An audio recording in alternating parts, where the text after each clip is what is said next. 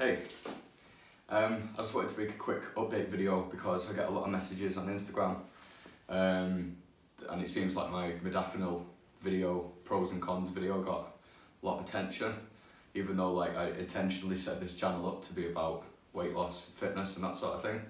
So I might as well just go with it um, and answer a couple of the questions that I get most frequently. The first one being, where do I get it? Um, so I don't. The place where I used to get modafinil from is you can't get it there anymore, and it seems like and it's it was an online pharmacy. I don't really want to tell you the name of them because it just feels weird giving telling you where to go and get drugs when it seems to be the majority of the inquiries that I get are from people that want it to, for studying for exams and stuff, which a lot of the stigma seems to be around that.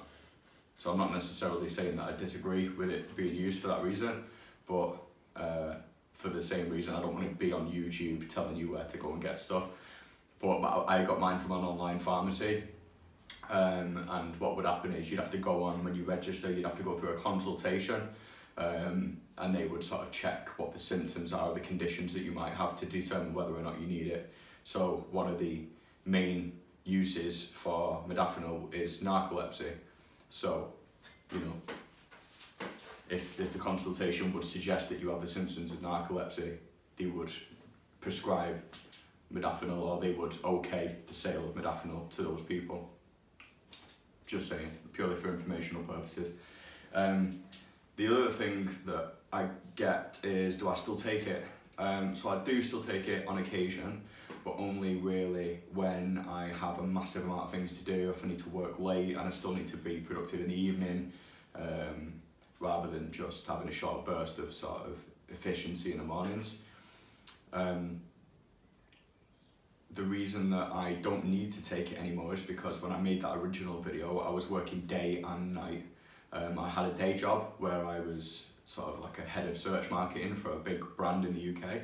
And then in the evenings, um, I, I was starting to do freelance work and that sort of thing because I had the intention of setting up my own business. So be, by being able to and this sort of leading on to my next, the, the next question that I want to answer, which is what impact has it had on your life?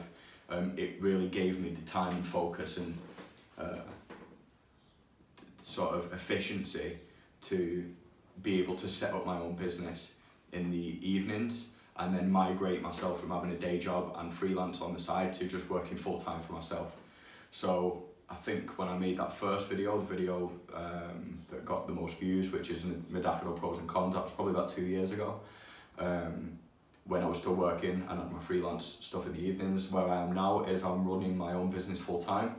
Uh, we have five staff. Um, I mean, the, obviously we're in the economy's kind of on a downward trend right now. Um, so, you know, we're kind of in a weird time, but up until this point, we had been growing quite quickly. Um, I mean, even because I've never run a business before, and there's a lot of stuff that I've had to sort of learn on the go. Um, but I think it's fair to say that the, the, the rate at which we were growing was fucking rapid. Um, and we went from it just being me to me partnering uh, with another agency owner um, now we've got a sales manager, um, a, a, project manager who works full time for us. We have a content executive and a social media person. So actually, all in all, there's six of us. Um, yeah, we've got like a really nice, cool office in Manchester. So you can check us out if you want. It's gorilla.marketing. And we do SEO, digital marketing, social media marketing, um, web, web design, that sort of stuff.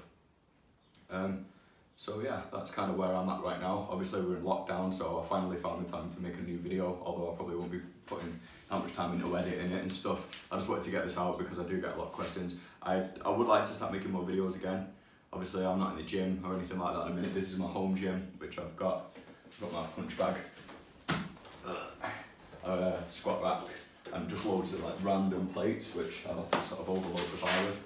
Uh, but I'm, you know, lucky in the respect that at least I've got stuff to train with, and I'm still able to keep my routine to some degree. And I'm just kind of walking a lot to get my cardio in at the minute.